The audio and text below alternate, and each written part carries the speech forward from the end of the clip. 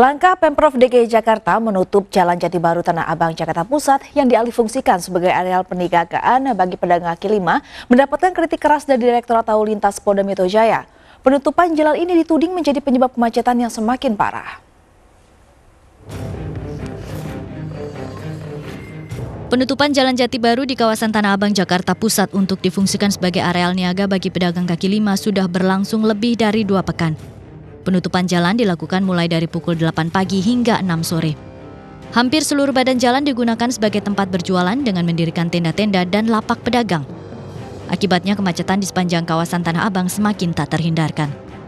Menanggapi hal ini, pihak Direktorat Lalu Lintas Polda Metro Jaya melempar kritik pedas. Pihaknya meminta Pemprov DKI Jakarta mengkaji ulang kebijakan ini dan mencari alternatif lain untuk relokasi para pedagang. Sebenarnya konsep dia itu bagus untuk apa ini memaksimalkan daripada konektivitas daripada transportasi. Namun karena badan jalan kemudian trotoar difungsikan lain, makanya kami sampaikan perlu dilakukan kajian ulang.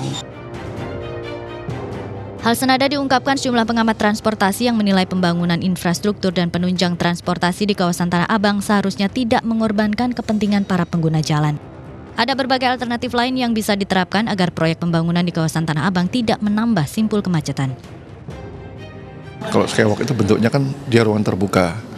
Biar tidak kehujanan kepanasan, kita madukannya dengan bentuk yang di Solo, penghubung antara skybridge antara terminal Tirtonadi dengan stasiun Solo Balapan. Artinya dibuat lebih luas, tertutup, tapi di kanan kiri sepanjang koridor orang berjalan itu ada uh, para pedagang yang berjualan. Sebagai solusi, untuk sementara Dinas Perhubungan DKI Jakarta akan melakukan rekayasa lalu lintas di kawasan Tanah Abang. Menurut rencana, kendaraan yang melintas akan dialihkan melalui kawasan Blok A Tanah Abang menuju kawasan Tamrin, Jakarta Pusat. Dari Jakarta, Tim Liputan iNews melaporkan.